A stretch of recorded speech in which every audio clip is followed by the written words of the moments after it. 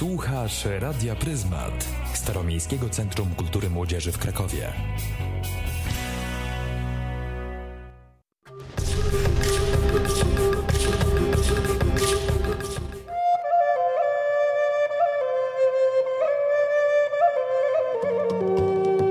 Kocioł kulturalny.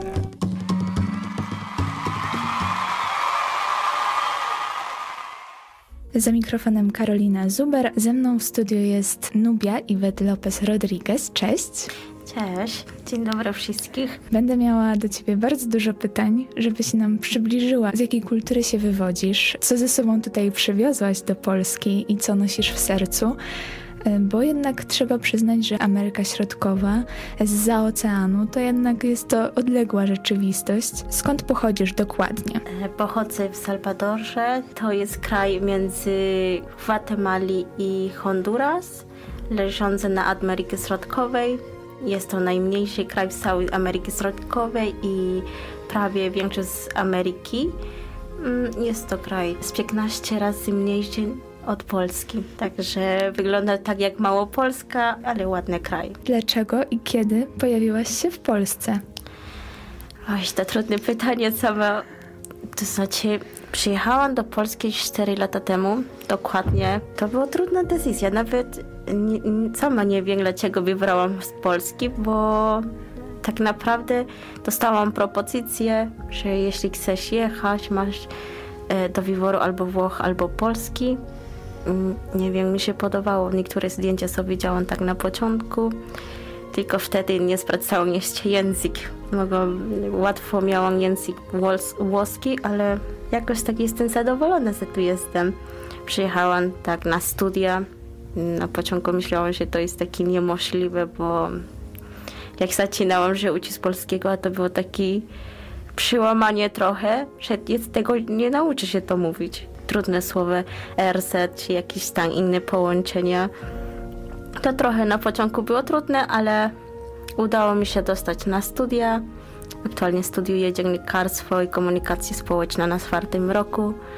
Już niedługo e, kończę magisterkę, ale przez względu z tego jestem taka zadowolona, że podejmowałam taką decyzję, bo było trudne, ale mi trochę idzie to w środku. Mamy tutaj specjalistę od kultury środkowoamerykańskiej. Powiedz, jak wygląda codzienność ludzi w Twoim rodzinnym kraju? Trochę się różni z, codziennie z ludzi z Polski, ale też mamy taki bardzo duże podobieństwo. No, w Salwadoru mieszkałam wsi, także myślę, że no, musiałyśmy stawać e, od 4.30 czy 3.15, jak mieliśmy na pierwszy autobus no, iść do szkoły, iść do pracy. Trochę, no, mimo że to jest blisko, ale też trochę połączenie są problemy z autobusami. Mogę powiedzieć, że ludzie w Salwadorze są bardzo pracowite. Mimo, że mamy taki piękny kraj, teraz aktualnie mamy taki trochę trudną sytuację społeczną, ekonomiczną i to trochę tak jakby daje niewolności człowiek. Dużo to jest dla nas taki przykro, bo nie możemy pochodzić z ulicy z takiej z wolnością. Tak naprawdę niektóre razy wychodzimy z domu, nie wiemy, czy się wrócimy. Większość ludzi w Salwadoru tak się czuje, ale mimo wszystko jesteśmy szczęśliwi, dużo pracujemy, jesteśmy taki gospodynie, lubimy ludzi, turystów. Wróćmy do tej sytuacji, którą niestety teraz obserwujemy w Salwadorze. No tak naprawdę śmierć ludzi na ulicy jak sobie radzić psychicznie z taką sytuacją, bo przecież trzeba normalnie żyć przy tym wszystkim? O, to jest trudne pytanie. Jak to powiedzieć o, o kraju, który się urodziłam, który tak naprawdę kocham i powiedzieć o tej sytuacji, w której my żyjemy w takich warunkach, w takiej społeczności, to jest trochę trudne, ale to tak naprawdę tak jest.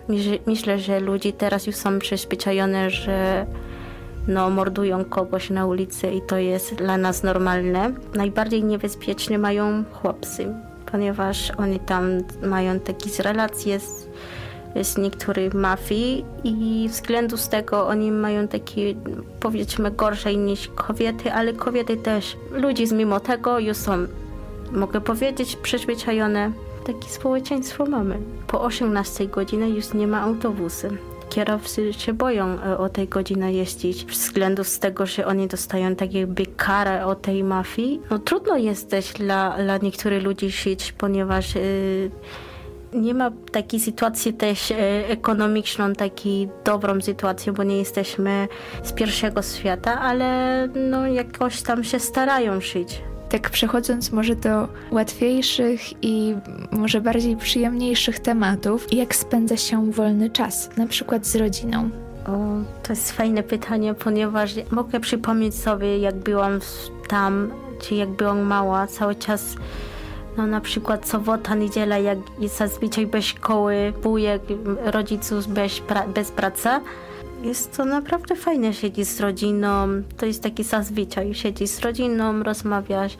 Jest to czas na przykład do odwiedzić e, ludzi bliskich, czyli rodzinę, jak przyjaciółmi. Pamiętam, że jak byłyśmy mała, tak naprawdę wolny czas cały spędziłyśmy z przyjaciółmi grałyśmy piłką noczną, jakby chodziłyśmy na pole po jakieś owoce, czy chodziłyśmy na jakieś rzeka, tam nawet nogi tylko układać do wody, to było tak naprawdę re, taki relaksujące, ale też mimo wszystko miałaś no, z kim rozmawiać. Wybrałam takie może sztampowe trochę okazje, które świętujemy, przynajmniej tutaj w Polsce. Urodziny, Boże Narodzenie, Wielkanoc, Nowy Rok, ślub czy narodziny dziecka. Dlatego poproszę Cię, żebyś pokrótce opowiedziała, jak, jakie są tradycje, jakie są obyczaje, jak spędzacie takie okazje. Urodziny, mamy taki zwyczaj, że mamy piniatę. Niektórzy lubią tak jakby karykatury, oni mają różne formy. Karykatury, owoce, no może jakieś osoby też. W środku mają cukierki i na urodziny to przebije. Czy to jest to, co widzimy czasami w filmach, że na drzewie wisi jakieś y, szmaciane zwierzątko i jak się je uderza, to wysypują się cukierki, tak? Tak. O to chodzi. To jest piniata. Mhm. Naprawdę jak y, robią takie im, imprezy urodzinowe, to naprawdę nie może to brakować. To są ciasta, takie napoje i cukierki. Słodyczy tak naprawdę musi być z urodziny. Takie urodziny, które tak jest, jest ważne dla Polacy, słyszałam, że to jest osiemnastka. Nie wiem, tak, czy ja się pomylić. wejście w dorosłość. No to u nas też jest ważne 18, ale przed 18 my bardziej świętujemy 15 wtedy to mówimy 15 años i fiesta rosa, to jest taki jakby Y, różowa impreza. Tak jak będzie tłumaczenie trochę tak może nielogiczne po polsku, ale e, no na przykład dziewczyna czy chłopczyk uwiera cały czas na różowy, że ona tam wybiera jakiś inny kolor, ma sukienka, idą do kościoła na msza i później jest taki, taki wielką imprezą. No i tak się odchodzi. To samo jak jest chłopak. To jest może trochę inaczej, bo tu 18, u nas 15, ale to nie znaczy, że już jesteśmy dorośli, ale tak świętujemy. Też inne Bożego Narodzenia to jest ważne, że byłam taka zaskoczona pierwszej Bożego Narodzenia, które tu byłam i, i widzę, że jedzą ryba. Naprawdę dla mnie to było nie do pomyślenia, bo u nas jemy indyk albo kurczak, no i różne to jest. Niektóre przykładają tak jakby kolację. No mi też kolację zrobimy, ale niektóre razy zrobią z chlebem, układają tak jakby różne warzywa i, i, i kurczak na, na środku. Tak naprawdę nie siedzisz przed stole, no niektóre rodziny to robią, ale większość tak nie robi. Nie mamy opłatki, e, to pierwszy raz tu w Polsce widziałam. Ale też mamy choinkę, szopkę, no i nie świętujemy świętego Mikołaja to inne z Bożego Narodzenia. Święty Mikołaj w ogóle nie ma.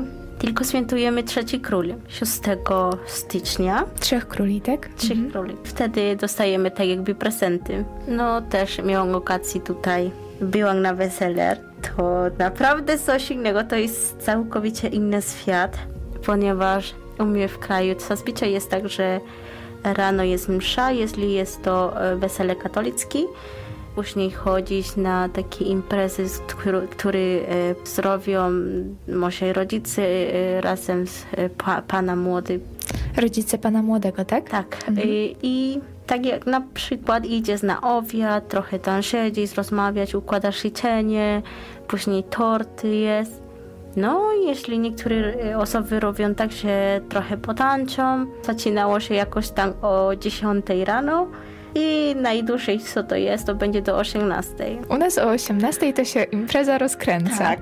I tyle jedzenie. No, naprawdę jest to jakiś inny świat. No, inna kultura po prostu. Też to samo w Wielkanocny to tak naprawdę dużo nie, nie, nie się różni, ponieważ i tak jemy ryba, wiem się ryba, tylko nie ma krzam. E, sobota nie, tak nie mamy te zwyczaje, że świętują koszyka. E, nie święcicie pokarmów, tak? Nie mamy coś takiego. U mnie w kraju takie 77% jest katolicki. Jeśli jesteśmy tam katolicki, no to wtedy taki bardziej żyjemy w kościele ten czas. Pamiętam, że jak byłyśmy mała, od czwartek do niedzieli to było czas dla kościoła tylko. Co powiesz na Nowy Rok i narodziny dziecka? O, przykro to będzie, ale my chyba bardziej świętujemy e, Nowy Rok niż Boże Narodzenie. No. no proszę. Bo jak przyjechałam tutaj, myślę, no to wszystkie mówią o Wigilii, a co o Sylwestra. Tak naprawdę czekałam aż coś innego na Sylwestra, ale jednak nie było to samo, bo u nas no też mamy takie fajreberki też na Bożego Narodzenia, ale nie jest tak jak dużo, tak jakby na, na, na Nowy Rok to jest tak, że no rodzina gotuje też indika, y, kurczak, jakieś inne potrawy, na przykład no, ciasto. Jest taki zazwyczaj, że jemy 12 winogrony po północy. Są takie znane piosenki na ten dzień. Większość domów takich tańczą, włączą muzyki tak naprawdę głośno, tańczą, śpiewają.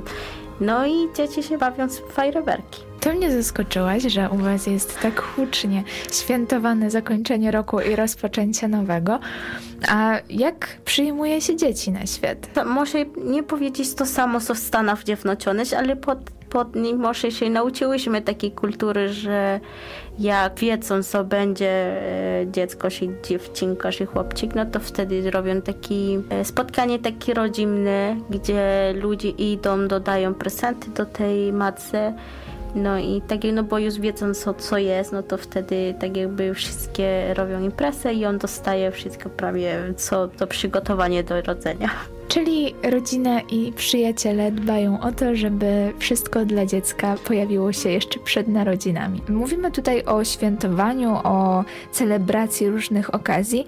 Jakie tradycyjne potrawy mogłabyś wymienić? No miałam tu okazję do niektórych przygotować to y, nasze danie narodowe pupusa. To jest mąka kukurycana z fasolą albo serem na środku ale nie tylko. Niektórzy ludzie dają jakieś spinakiem, samą ser albo jakieś tam wędliny z kurczakiem. To można powiedzieć, że z różnych potrawy to się robi, ale to jest tortilla. W środku układany fasola i tam różny.